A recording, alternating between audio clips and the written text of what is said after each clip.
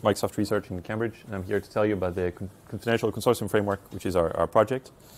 Uh, it only says on the last slide, which might have been a mistake, but it's open source on GitHub, uh, so please feel, to, feel free to check it out. So what we set out to do is uh, build a framework to make it easy for people to construct multi-party applications with good guarantees. Um, so one of the things that's often a problem is the, the lack of governance mechanism. So we wanted to have a verifiable consortium governance mechanism, a system where you can have very well-defined governance rules for the multi-party application, uh, which are easily verifiable to all participants, to members themselves, and to also users, so they can see that the network is or the application is run in the specific way that uh, is promised to be run. Um, we also want fine-grained confidentiality, of course, so um, people should be able to have very fine-grained control of their data. It should be possible for application makers to make it so that you can only see or reveal you know, what's, what's useful and appropriate for business purposes. Uh, we want a very simple programming model. Uh, everyone wants a simple programming model. We want it to be approachable and make it easy for people to get those guarantees.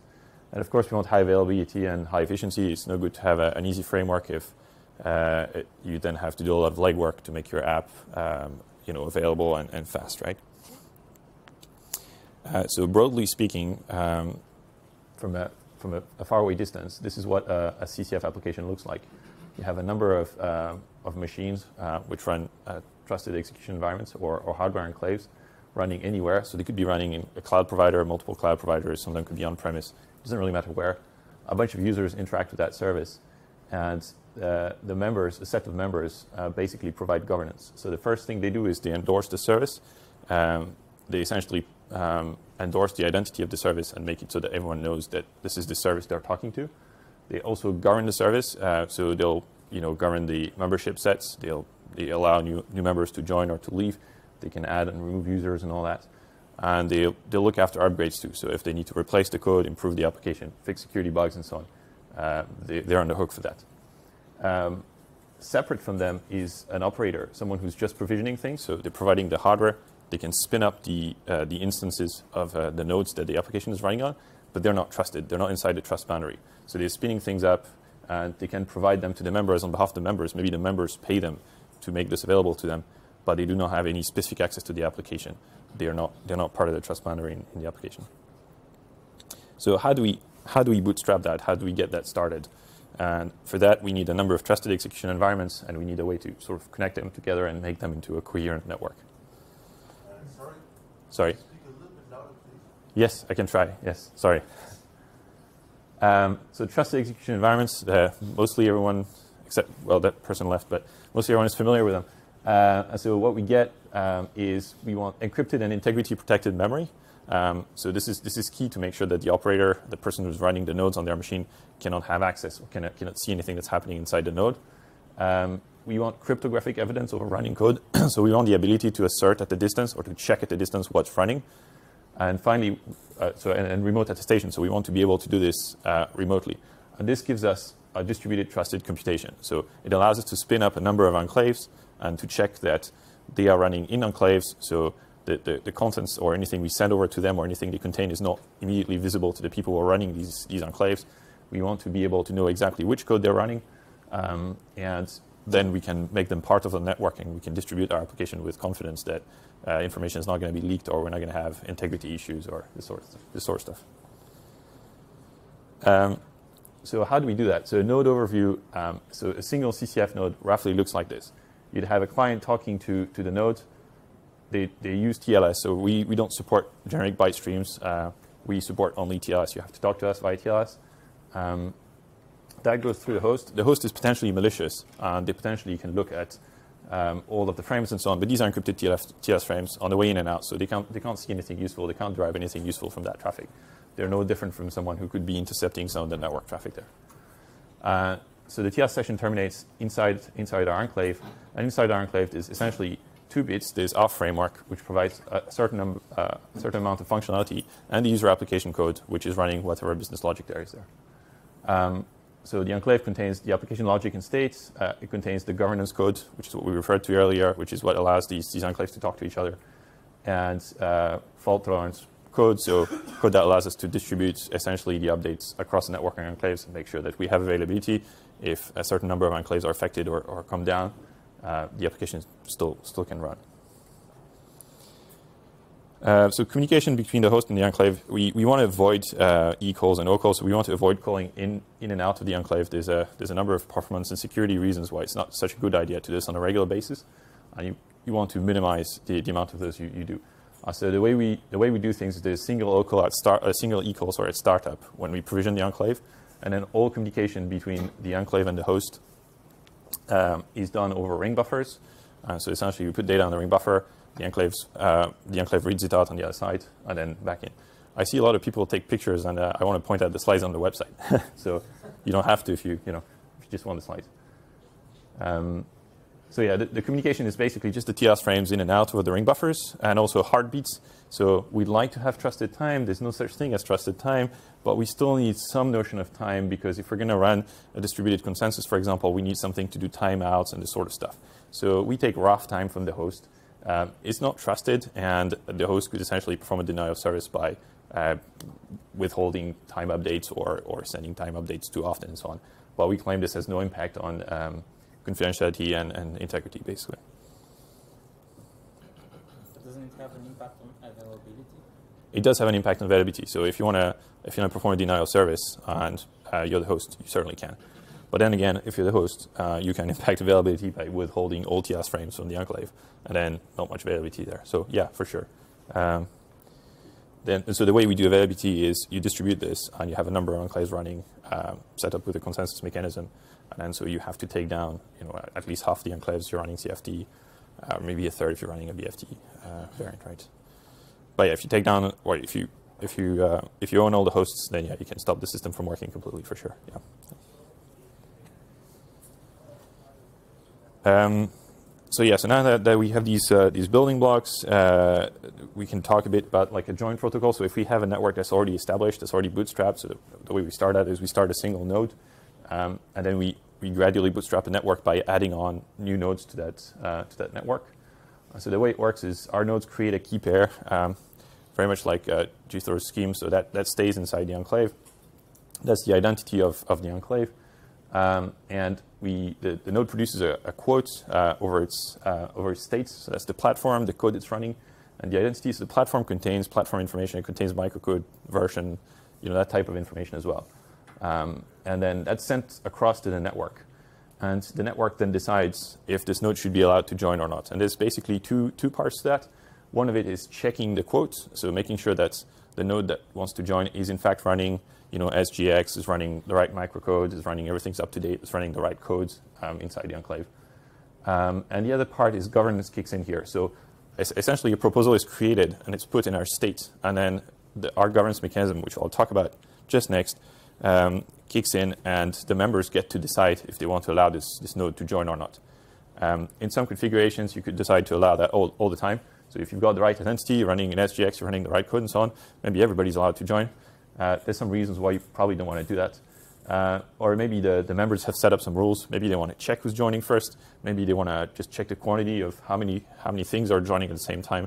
There's various problems with um, having too many joins at the same time. Obviously, everybody comes in and then they have to catch up and it creates problems.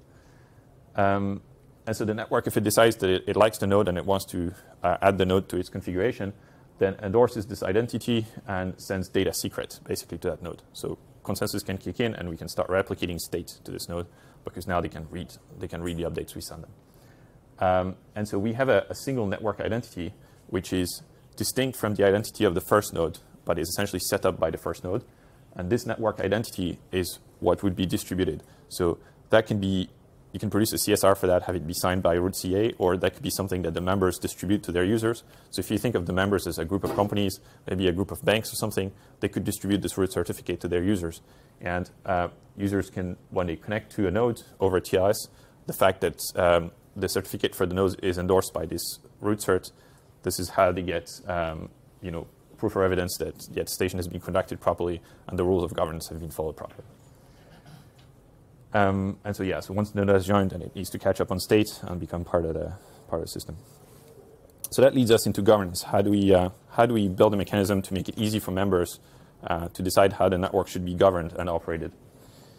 Um, so we have we have our, our, consortium of members, and initially, what they do is they endorse uh, the first uh, the first prefix of the ledger and the, and the configuration. So we have a first few transactions that configure our system, and the members have to come in and they, they have to stage a vote basically to say, yes, we, we agree this is the network we think uh, we, we, we wanted to start. So it's running the right version of the code, it's running with the right membership, um, and um, we're happy with the identity of the node so far. Um, so they vote for that. This is recorded. And in general, this is just an instance of our generic governance mechanism, which is uh, staging votes. So you can stage votes to decide things like membership, uh, who should be a member of the network, uh, who should be a user, um, what the network configuration should look like. So I want to add a certain number of nodes, remove some nodes. Um, I want to update the code, or I want to change the versions of the code that are allowed to run in the network. Uh, or you want to change maybe the constitution itself. So all the votes are governed by a constitution, which is a script, which I'll show on the next slide. And this is what decides how the votes are passed, essentially how the votes are counted. And this itself, uh, being part of our state, is something we could update also, probably with different rules. Maybe we want to be stricter about that. Um, so the constitution is a script. The votes are scripts. Um, well, so the proposals, sorry, are scripts, and the votes themselves are scripts. So a proposal could be, um, you know, we want to make this change, and then all the members have to look at that, and they have to say, yeah, I agree or I disagree. But if you do, if you say I agree or I disagree, then you have a time check time of use problem because things could have moved on, and maybe you care about some other elements of the state. Maybe maybe you're happy to add a node, but only if there's already if there's not like more than 10 nodes already because you're trying to restrict the total number of nodes. So in your your vote should be something that's executable. It should be something that can look at the, uh, the proposal, but also the current state of the system and say, yeah, okay, I agree with that, or you know, given the circumstances, given the state we're in, I don't want to accept that. Um, so because this, because your vote is executable, you, you get rid of, of these concerns, and this is how this is how we count things. So that's all the slides, and we should see a bit of code. Hopefully, it's big enough for everyone to read. Um, okay. So I'll, try and go through that quickly, but essentially, this is a very simple constitution samples uh, sample. Some of them will look bigger than that; they'll be more complicated. Uh, but here, all we're doing is we're saying, like, look for most things. All we're looking for is a majority of members saying that they agree. So if, a, uh, if we if we want to stage a proposal and we want to say we want to add a new member, for example, or a new user, we just want to have a look at the majority of, uh, of members uh, which are currently active and check that they agree with that.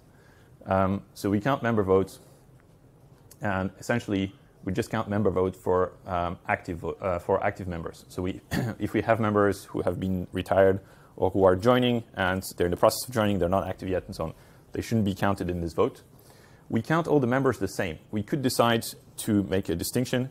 We could have some tables where we store special members who are like operating members or senior members or whatever, and maybe they have special rights. Maybe they can veto some things. Maybe their vote is, is, is sufficient to pass the entire thing. It's, it's very flexible. We can do pretty much anything we want here. This is just a simple example. Um, there are some tables where we store information that maybe shouldn't be so easy to modify. So, for example, if the members want, want to stage a vote over, uh, so there's, there's a whitelist table, which is uh, basically some, uh, the tables that are allowed to be affected by governance. And then we have our governance script table, which is the table that stores this constitution if people are going to replace the constitution, you're probably looking for something more than just a simple majority. So here in this case, we enforce unanimity. We need to have the, the number of the total number of member votes needs to be the same as the total number of members that's active. And so if we have a majority otherwise, then you know we pass. Otherwise, we return false. And the way this works is very simple. Every time a member sends a vote, um, th their script is executed that decides their vote. Then the constitution is run again. We count. If it's good, we pass. If it's not good, still pending. The proposal is still there. Um, there's, a, there's a way to withdraw proposals as well if you think there's no realistic chance of them passing. So but that's sort of how it works. The types of proposals are fixed because people need to write code to vote on those proposals. The types of proposals are fixed. Um, not really. So because your because your proposal, so this is Lua. Um, your proposals are Lua and the votes are Lua if you can if you can put your proposal in terms of a Lua script that executes against the table in the key value store that's backing this, then you can put it to a vote. And the other members, they'll have to write a script that knows how to evaluate your proposal. Um, and so it might be tricky for them if you propose something sufficiently complicated. Maybe they won't agree to it. Um, yeah, but. So, so, that's what I mean. At the moment where the proposal is uh, submitted, people need to have already written code for it. So when the proposal is submitted yeah, your proposal is code, so yeah, you have to you have to come up with. So, so conveniently, we'll look at proposals now. so some some simple ones. Uh, the first one is just we want to add a new user. Um, so we're, we, we get to see the, the, the tables and, and the, um, So that's a mistake. Should say user cert.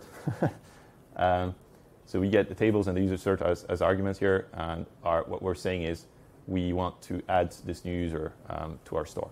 So the, the, way this is split is um, the proposals are typically little bits of code, and some arguments are templatized and parameterized. And so here the user cert is passed separately and is, is passed in. Um, so the next proposal is we're passing a new code digest, and we're saying we should be able to run this new code version in, in our system. And um, we can have a look at the ballot here, so a, a vote to evaluate that. Um, so the vote to evaluate that will look at the changes proposed by the proposal. So it checks there's only one change proposed, that the, the proposal is a, a new code uh, proposal, and that the new code is this, this new code ID that we have decided is acceptable. So probably typically what would happen is um, the member would have ahead of time communicated with the other members and say, hey, look, I want to deploy this, this new version of the code. Um, I give you what you need to reproduce the build. Um, you edit the code, you reproduce the build, you get to the same ID, you get the same hash over the code, and you decide, like, yeah, okay, I want to put a vote for that. So you're not accepting the proposal itself, you're accepting this particular code ID. That's, that's what you're accepting there. Um, yeah, so code updates, uh, it's essentially a sort of simple uh, three-phase mechanism. You add a new supported code version through this vote mechanism. Everyone agrees to that. Uh, for a while, when you do that, uh, as you spin up new nodes that run this new version of the code, you want to make sure that the new and the old versions are compatible. Um, and then you can stage a vote to say, I want to remove the old version of the code. Now, now, that we've upgraded, maybe the new version contained a security fix, and you don't want to allow the old version to run anymore. So you stage another vote to say, we should get rid of the old version now because we have a good quorum of, uh, of nodes running the new version. Um, and then if that passes, uh, then the new vote, the, the old code is essentially um, uh, removed, and so nodes that are running the old code can't, can't be part of the network anymore, and now you can tear them down. Uh, so another thing we, we potentially need governance for is catastrophic recovery.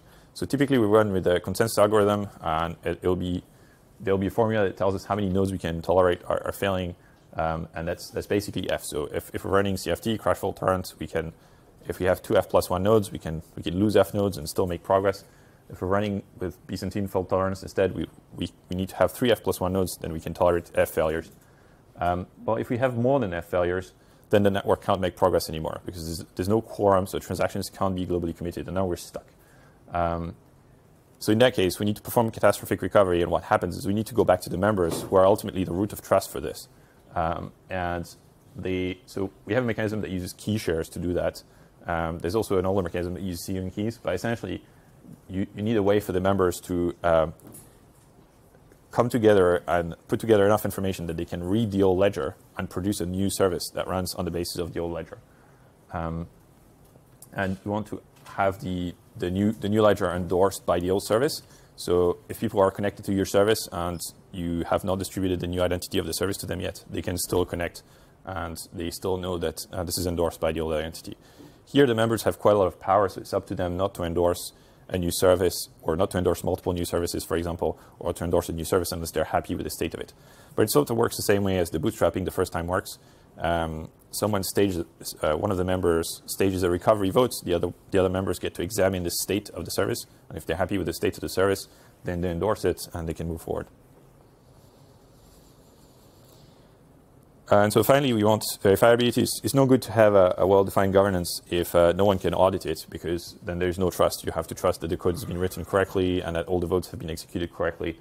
Um, so for that to happen, all the governance states, all the, all the tables that hold the governance in our system are all public. So anyone who has access to Ledger, which should be anybody, um, can see what the governance tables hold, and they can essentially play through the governance story. And if anything doesn't match, like one of the votes, you know, the, the total that was counted doesn't match and so on, they can say, hold on, there's, there's a problem there.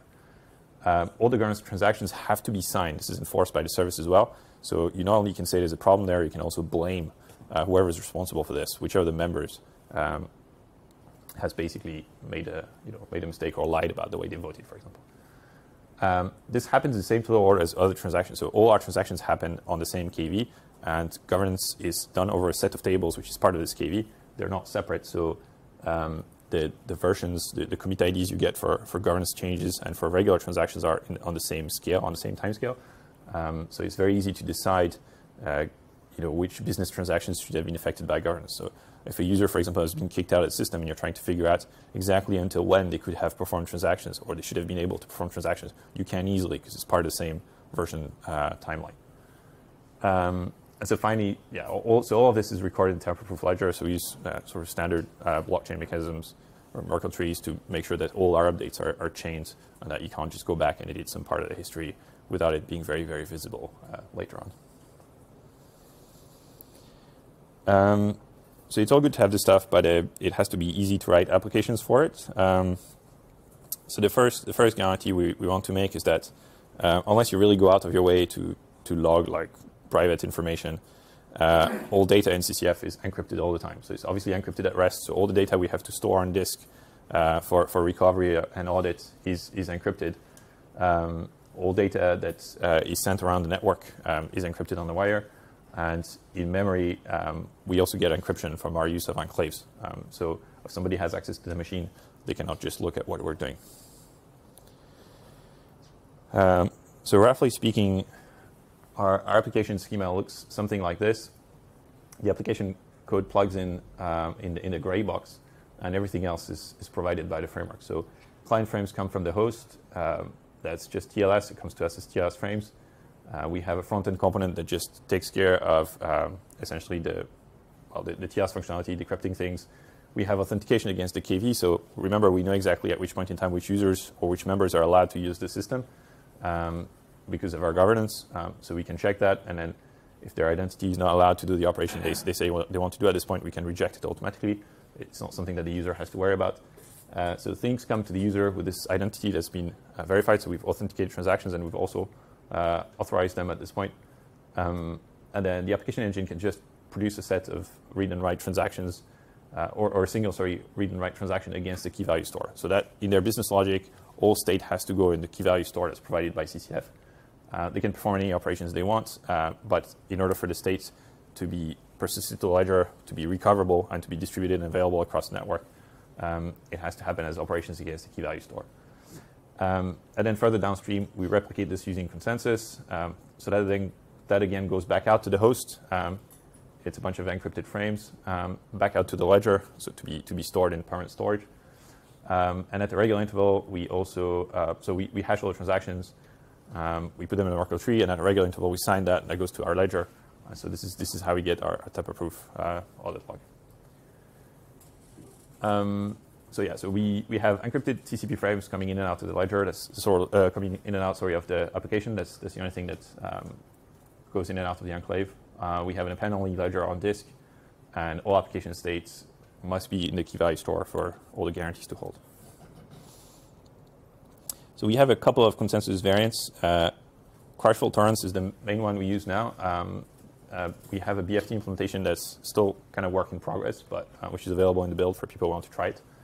Uh, so if you use crash fault tolerance, we have a, an in-enclave uh, raft variant. What we do there is if you have two F plus one nodes, you can have F to, up to F failures, and the network will still continue to make progress.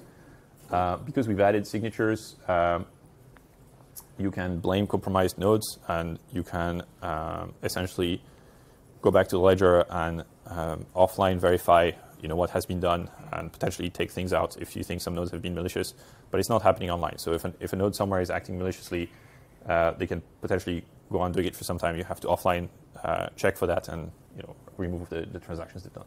And so here we rely on the TEE for both confidentiality and integrity. Um, if, the, if the TEE is compromised, um, if someone can, uh, for example, tamper with the memory, uh, we won't be able to, to detect it uh, online. It will have to, it will take some offline audit for it to be detected. Um, if you use uh, PBFT variant, which again is still work in progress, but it's, it's coming online, then um, if you have three F plus one nodes, you can tolerate up to F failures, but you can tolerate up to F nodes being malicious. So the nice thing about that here is that you still rely on the TEE for confidentiality. So if SGX is utterly broken one day, well, you know, your data still is no longer confidential, but you potentially don't lose integrity if fewer than F nodes are affected. So if you're clever enough about the way you distribute your instances, and they're not all, you know, um, subject to the same attacker because maybe they're geographically distributed or distributed across multiple cl cloud providers and so on. Um, if you manage to keep two F plus one nodes um, that aren't affected by the attack, you still keep integrity. So your attacker gets to see the data, but they don't get to uh, manufacture transactions that are illegitimate. So the key value store is, is basically our very simple storage interface. There's really just two things you can do with it. You can get stuff out of it and put stuff back inside. Um, like the rest of CCF, it's implemented in C++, so we'll get to the runtimes that support it. but you can put any old C++ type in and out of, of there. Um, and then for other languages, we have mappings. Um, transactions are, are, very straightforward. It's like um, any local key value store we've used. We have strict serializability and, and opacity um, so that um, errors only see a consistent state. There's, there's really no, uh, no tricks there. It's very, very easy to use. Uh, it behaves the way you'd expect. Um, you can have app-driven confidentiality because of this very flexible key value store model. So the app decides completely how it wants to expose data. It's up to the application logic uh, to decide how to do that. There is no built-in support in the key value store to label things with certain degrees of privacy or anything like that. It's completely left to the code. Um, and you can, of course, uh, store your code um, in, the, in the store itself. So you have the key value store, and uh, one of the things you can do is some of the values could be code themselves. So if you want to upload scripts, if you want to upload things that can be executed by the users, um, then of course you can. Uh, another thing that the framework provides for you is transaction receipts. Um, so this is a little tricky for you for, for the applications to implement themselves for, for a, a, variety of reasons, but basically applications should be able to, or users that use the application should be able to get receipts from the application that are signed by the service that say that uh, this, out, this outcome happened and it happened at this version inside a KV.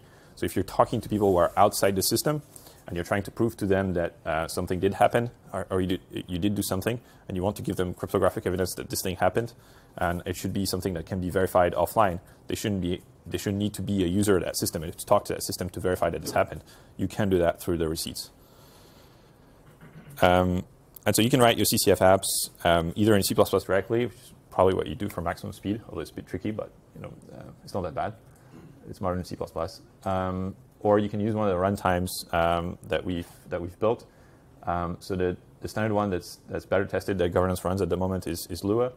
Um, we also have a project called EVM for CCF, which allows you to use any EVM compatible language like Solidity to run smart contracts against the KV store.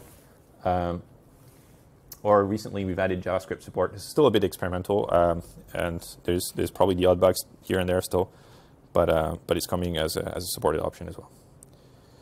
Um, so that's mostly it. Um, and the code is on GitHub, so go check it out and um, try it out. Any questions? Yeah. Yes I'm very curious uh, that you have remote attestation. Yep. I didn't hear any detail about it, so I wanted to ask, is it possible to not be a member of the network and somehow do remote attestation and say, okay, this confidential network or whatever it is, it has system integrity. What kind of format yes. do you use for the remote attestation structure or some details because I didn't see yep. any slide about it. Sorry, uh, so working Yes, it's working. Uh, the, the, the real attestation. So, uh, sorry, maybe something I should have made clear is we use the Open Enclave SDK, okay. um, and essentially at the moment, so the Open Enclave SDK supports SGX mainly. So our attestations are just SGX attestation. They're a standard SGX attestation, uh, and Open Enclave is adding support for ARM Trust Zone uh, coming pretty soon. So once they do, we will hopefully be multi-enclave. They, they don't have a mechanism for that. Yeah, they don't have they don't have a mechanism for that now. Yeah. That's true. So but at the moment, if you if you run this, station is working. Yes. But and, and, it's using the format that's uh, Open Enclave is using. Uh, that's that's right. Which is so which is the Intel. An Open Enclave node, and I'm not part of a confidential network. Yeah. I can still verify. You don't need to use an Open Enclave node. So uh, Open Enclave pr uh, provides a small utility library, uh, but the Intel SDK does as well um, checking the remote attestation provided by an enclave. It's just a matter of getting the right certs and the right CRLs from Intel. In the right format of the remote attestation structure. Yeah, the, for, the format is public. I mean, it's, it's specified in, in the Intel SDK documentation. So you don't have such use case where someone wants to externally verify your network? So we, we do. And so if people want to do that, uh, so as a user, you can, of course, trust the network identity because it's been given to you by members and it's endorsed by members. Uh, but if you want to verify the enclaves for yourself before you connect, one of the things you can do is there's an endpoint that allows you to get a list of nodes and the attestation for each node. And you could yourself verify the attestation for each node and make sure that it's running the right version of the code uh, against an up-to-date, you know, Intel SGX enclave and so on. So you can do that yourself as well if you want to.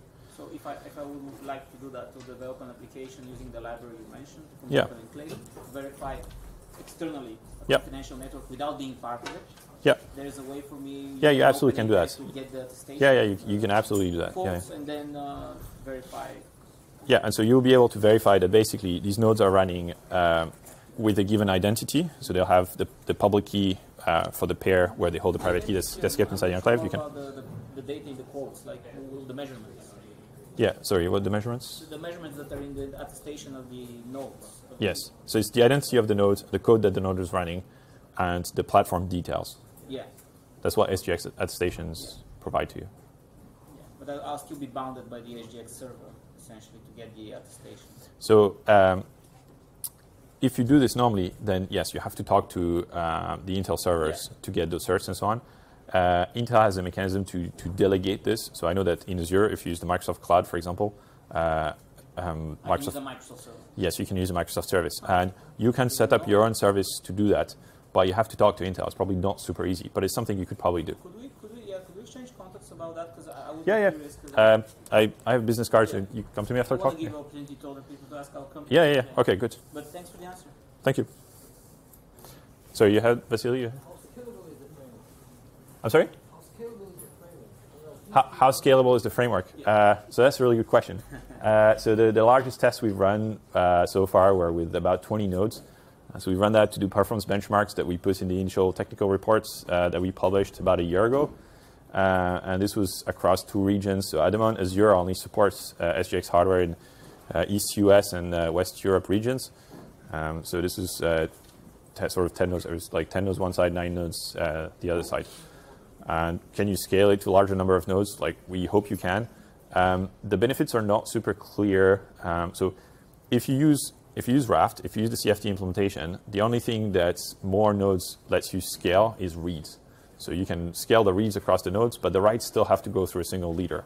So you're making the leader the leader busier because it has to replicate to more nodes. Um, but if you have a read-heavy workload, you know it, it, it might still be a nice thing.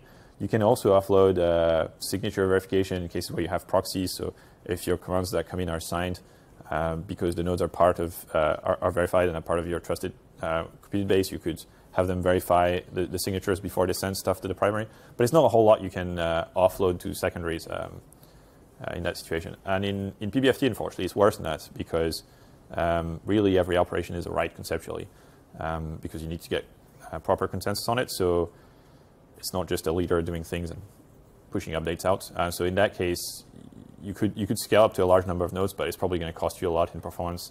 It will give you good availability, so you'll be able to lose potentially a lot of nodes, um, but there won't be there won't be super good benefits. So there's work ongoing, and this is slightly longer term work. It's, it's probably not something that's going to come out this year to add sharding to CCF and to really scale out to larger volumes. At the moment, um, if you run CCF applications, the best benchmarks we have for applications that are written in C++ are some, somewhere in the vicinity of like 50, 60,000 transactions per second. Um, so you can run like some stuff already. It's not it's not extremely large scale, but you can run reasonably large applications across two data centers, geo-replicated, and so on. Um, and with sharding, we, we're hoping to do more. So I don't know if that answers your question, but yeah. For the code proposal, uh, when coming from a new user, is there any signature involved besides the hashing? Or to identify the identity of uh, a user? Uh, okay, so the question is, if I'm a new user, uh, do I have to sign anything? And the answer is, uh, you don't have to. So it's it's standard TLS. So if you have as a as a new user, uh, you won't automatically be allowed to take part in the service unless the service is configured to be very open. Typically, it's TLS end to end. So what would happen is you'd have to talk to one of the members and say, I want to participate. Here's my identity. Can you add me? That member would stage a vote to add you. Then the rules the rules of the governance would apply, and you know you'd get it. Now, there could be schemes where you're automatically allowed to participate because your cert has been endorsed by some identity, of course, and then the governance might decide to do that. But you know, basically that's that's how the scheme works. And so once you've been added, you establish a TLS session, and you can start talking to the service, and that's good enough as far as the service is concerned. We do support client signatures uh, to support use cases where people might decide to proxy things. So if you are a client and you want to talk to CCF, uh, but you're not able to establish a direct TLS connection for whatever reason, you could you could build a command, sign it with uh, your identity, send it to CCF, have someone else send it over to CCF. They need to be allowed to talk to CCF as well through their identity, but the command would be recorded with your signature and with your correct identity. Um, there's a you know there's a trade-off there. It's it's slower to do that if you're trying to send a lot of transactions, um, but um, On the other hand, it means you can sort of route through uh, anywhere you want. Um, so that's, that's also nice. Um, and so if you're trying to build some workflows where you want verifiability for user um, transactions as well as governance transactions, maybe you, you would want to enforce that. So if you have some very sensitive user operations, maybe you force the users to sign and then you store the signatures in the commands and then people can offline verify things. Uh, sorry, I don't know if I'm running out of time or not. no, no, but I see Vasily is getting closer. Do, do we still have time or Yep. One one final question. one final question? You, you did mention compromise in the recovery. yes. Um, so could you potentially even because you have these trusted, you said you, you have the trusted uh, uh, uh, mem- members, uh, like at the end basically the key shares you mentioned. yes. Uh, so could you basically also use this uh, to roll back the whole uh, like a whole I don't know, state So- in, case of like a large, scale compromise? Could you extend this somehow? Yes, so that's that's a good question. And so the answer is yes. So if the members could decide that they all agree that the last 20 transactions did not happen, and so this is a good thing sometimes if there's been a problem, but it could also be a bad thing because the members could be colluding. And what protection does the user have against that? And the answer is if they've kept their receipts for those transactions, they could say, I did have this receipt. It was committed at this version and it was signed by your service. And although you truncated it post recovery, I have proof that this was in there in the ledger. And so you still have some defense against that if the if the members decide to truncate things because they want to remove a sort of inconvenient rather than illegitimate operation. Um, but yes, the, when the members get together, so the process, the way it actually works is you spin up a bunch of nodes, they look at all the ledgers, they, they verify um, all the entries and the signatures that are in there, and they give the members back information about which, the, which, which one is the longest and has still been globally committed. Um, and then the members can decide to vote on that. They could decide to shorten the prefix for whatever reason. So signatures in the ledger, just to be clear, are signatures that are done by nodes. Um, so they allow you to attribute uh, the operations to particular nodes. If you know that some nodes were compromised, then this is how you can decide to you know, truncate various things.